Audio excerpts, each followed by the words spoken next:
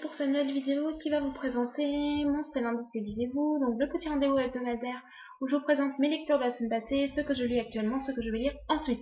Alors je vais essayer de pas trop bouger parce que j'ai euh, la lumière allumée, donc ça fait des mouvements flous, mais euh, il caille, caille, caille dans mon appart. Euh, j'ai trois radiateurs quand même dans mon appartement, il n'y en a aucun qui fonctionne, ils sont tous en panne, c'est génial. Hein. J'ai que des merdes avec mon appart. Bref, euh, j'ai donc terminé cette semaine deux livres. Euh, j'ai un livre en cours, et enfin un et demi, puisque j'ai toujours euh, le suicide de Durkheim. Et j'hésite après à lire quatre livres, donc j'aurais besoin de votre, de votre avis pour lequel vais-je lire après? Donc voilà, n'hésitez pas à euh, laisser un petit commentaire pour me le dire. Donc on va tout de suite commencer avec les deux livres que j'ai lus cette semaine. Alors le premier livre que j'ai terminé cette semaine, il s'agit du tome 2 des Portes du Secret. Donc Le Souffle d'émeraude de Maria Snyder, publié aux éditions Harlequin dans collection d'Arkis. Donc voici euh, la couverture euh, ben, noir et blanc. Donc je vous mettrai un aperçu de la véritable couverture à la fin de la petite présentation. Donc pour l'histoire, euh, dans le tome 1, on suit Elana euh, qui euh, va être condamnée à mort et qui est sauvée in extremis en fait par le, maître espion, enfin voilà, le redoutable Valek qui lui propose un, le poste de goûteur du commandant. Voilà, et donc c'est sa manière de bah, voilà, d'éviter à la peine de mort. Euh, et donc euh, Elena va euh, accepter donc ce poste et elle va là commencer sa formation auprès de Valek et va s'en suivre plusieurs aventures et puis bien entendu il y a son passé qui va inévitablement la rattraper. dans ce tome 2, donc je vais pas vous dire ce qui se passe parce que c'est vraiment la suite du tome 1, c'est la continuation. Donc, le moindre chose que je, si je vous dis par rapport à l'histoire, ça va vous spoiler. il y a Suite à la fin du livre, il y a quelques éléments qui ont été un petit peu en retrait dans ce tome 2, mais qui sont quand même toujours présents, et euh, je trouve ça vraiment bien. Euh, il y a certaines situations qui m'ont beaucoup fait rire, sourire, euh, parce que j'ai trouvé ça très touchant, des relations amicales avec Elena, voilà, qui, m'ont beaucoup plu. Il y a quelques personnages envers qui j'ai eu de la sympathie, d'autres de l'antipathie, qui a évolué vers l'un vers l'autre. Il y a beaucoup, enfin voilà, il y a au premier abord certains personnages m'ont vraiment paru antipathiques et au final je les ai bien aimés. D'autres ça a été le contraire. Euh, voilà, il y a plein de rebondissements. J'ai juste un, petit, euh, un, petit, enfin une petite déception envers euh, de, dénouement en fait de l'intrigue.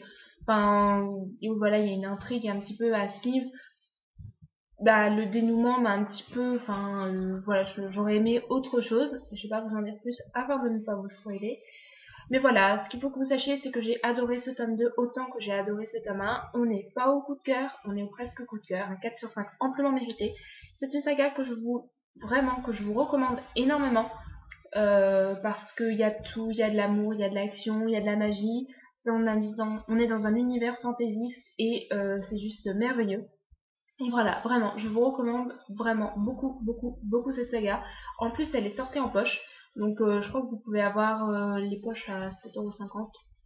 Enfin, je crois que sur Gilbert Joseph, en prix neuf, je les ai vus à 7,14€ avec 5%. Donc, je me dis que ça doit faire à peu près 7,50€. Les couvertures sont vraiment magnifiques. Ne vous arrêtez pas aux préjugés du fait que ce soit les éditions Harlequin, parce que vraiment, cette saga est vraiment géniale. Et je vous la recommande vraiment beaucoup. Alors ma deuxième lecture de la semaine, il s'agit euh, du tome 1 du Royaume perdu, donc Prophétie et trahison de Jean-Aimé Bouzani, publié aux éditions LMJ. Pour l'histoire, on va donc suivre Fabien qui, suite à un coup de foudre, enfin littéralement la foudre lui est tombée dessus, se retrouve expédié dans un royaume moyenâgeux du nom de Numélie, en proie euh, sous le joug d'un tyran sanguinaire du nom de Nial. Voilà, et donc Fabien va se retrouver un petit peu pris dans différentes aventures contre son gré. Euh, donc, euh, pour commencer, je vais remercier l'auteur qui me l'a envoyé euh, via Livre Voyageur et qui a, été patient parce que j'avais oublié ce livre. En fait, il était bien rangé dans ma palle et je l'avais oublié. alors, ce livre m'a pas entièrement plu. Euh, je lui mets un 3 sur 5 parce qu'il est sympathique. Euh, parce que euh, si c'était le premier roman fantasy que je lisais, peut-être qu'il m'aurait plu, enfin davantage plu, mais j'ai beaucoup de défauts à lui reprocher. Alors, comme vous pouvez voir, je vais vous montrer. déjà, c'est écrit petit. là, je vous ai pris une page de dialogue. Les dialogues sont mal présentés. Euh, ça, c'est une réflexion anodine. Mais comme vous pouvez voir, voilà, il y a pas mal d'écriture, euh, il y a pas mal de passages narratifs et il y a pas mal de longueur. Euh, oui, les passages narratifs, moi, ça ne me dérange pas en lisant de la fantasy. Il y en a pas mal et c'est nécessaire à la fantasy qu'il y ait des passages narratifs. Oui, mais là, il y a beaucoup de longueur, beaucoup de choses qui ont fait que déjà, au bout de 50 pages, j'avais envie d'abandonner le livre. Parce que j'ai trouvé les 50 premières pages d'un ennui total, que je n'y trouvais pas mon compte, que je ne rentrais pas dans l'histoire, que euh, voilà. Voilà, les 50 premières pages, franchement, je, m'ennuyais. Je n'ai pas abandonné parce que je trouvais ça très irrespectueux envers, envers l'auteur et euh, surtout que euh, voilà, il m'a quand même, il a quand même été patient. Donc euh, j'ai trouvé ça très irrespectueux. Et donc j'ai continué. Au final j'ai bien fait parce que euh, j'ai vraiment bien bien aimé ce livre jusque la page, jusqu'au 250e page. Euh, passé ces 250e pages, j'ai commencé à lire beaucoup plus de travers parce que j'en avais un petit peu marre de longueur et surtout parce que j'avais malheureusement tout deviné de la trame.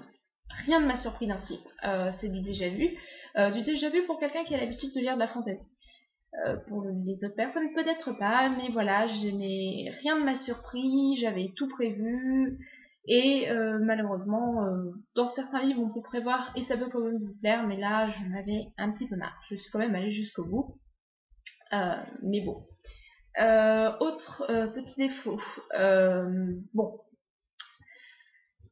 C'est un roman à compte auteur si j'ai bien compris. En tout cas, euh, si ça ne l'est pas, c'est euh, l'impression que j'ai eue. Euh, il manque une sérieuse relecture. pas de faute d'orthographe. Pas quelques erreurs de syntaxe. Ça, c'est pas, c'est pas du tout la mort. mais des passages à élaguer. Bon, pour être vraiment franche,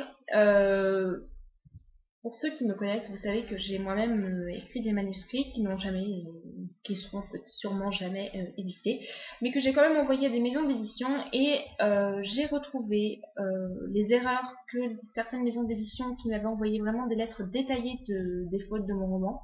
Et ben dans ces, dans les erreurs, les erreurs que j'avais faites, je les ai retrouvées ici.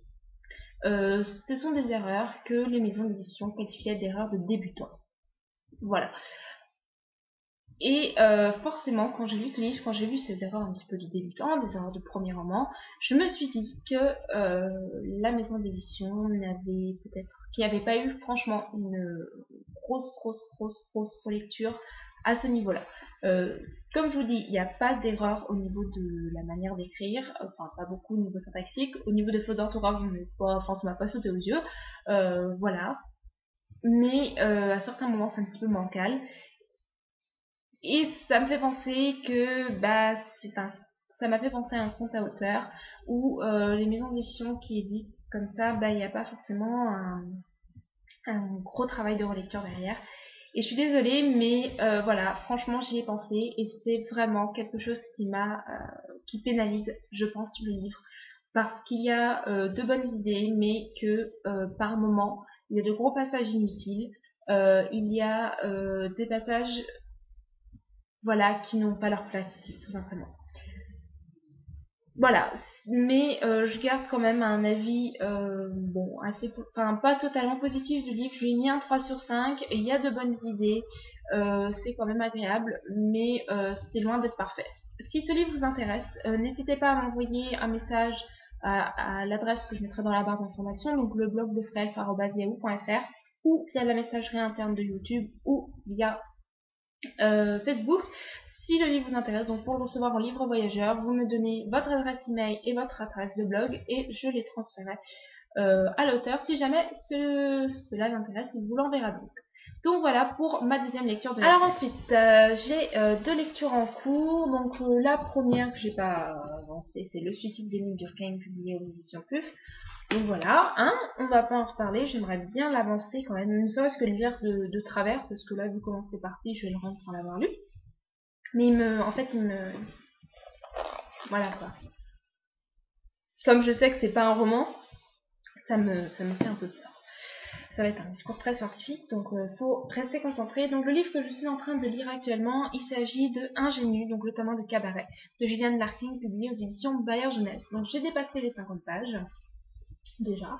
Euh. C'est une saga qui me tentait beaucoup, et franchement pour le moment elle me plaît vraiment beaucoup. Est-ce qu'on ira jusqu'au coup de cœur?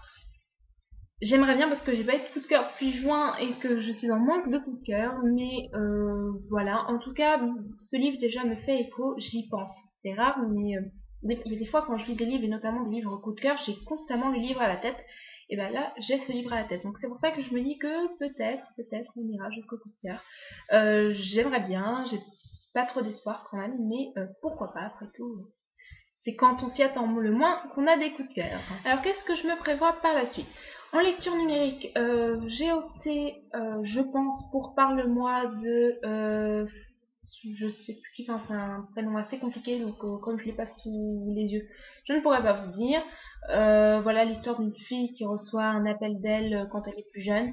Ça vous dit quelque chose. Bon, je l'ai pas commencé, je ne sais pas si je commencerai, si j'aurai le temps de le commencer. en livre papier, j'hésite entre quatre livres, donc je ne serai pas contre votre avis. Euh, vu que ce sont 4 emprunts médiathèque et un SP, donc 4 euh, lectures urgentes. Le premier, il s'agit de Litz de Jennifer Brown, donc publié aux éditions Albin Michel dans la collection Weeks, dont j'ai entendu énormément de bien et qu'il me tarde vraiment de découvrir. Le deuxième, il s'agit du tome 1 de, euh, de La fille au dragon, donc l'héritage de Turban, de Licia Troisi, publié aux éditions Poca Jeunesse. Licia Troisi, qui est une, une auteure que j'adore, avec quand même euh, pas mal de coups de cœur dans euh, les trois trilogies du monde émergé qu'elle a écrit. Donc euh, voilà, la première trilogie un coup de cœur, la deuxième un petit peu moins, et la troisième j'avais un coup de cœur pour le premier, le deuxième tome, je sais plus si j'ai eu pour le troisième, je crois que la fin m'avait un petit peu déçue.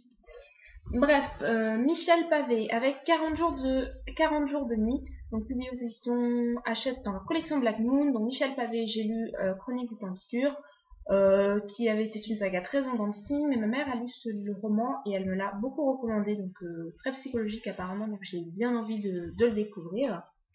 Et le dernier, c'est euh, Pardonne-lui de Jodie Picoul, publié aux éditions Michel Lafond, donc que j'ai reçu via Babelio. Et Jodie Picoul, elle a écrit plein de livres, et j'en ai d'ailleurs emprunté un à la médiathèque, qui s'appelle, qui s'appelle, hop, qui s'appelle Ma vie pour la tête. Voilà, donc celui-ci, je vais pas le lire tout de suite, mais euh, il me tente bien. C'est sur euh, une enfant médicament. Euh, voilà, donc je vous les remontre. Hein. Hop. Hop. Hop. Et hop. Voilà, donc n'hésitez pas à me dire ce que euh, ce que vous me conseillez. Puis d'ici là, euh, je vous fais de gros bisous. Je vous dis à lundi prochain. Puis moi, je vais aller mettre une grosse polaire. Voilà, bisous, bisous.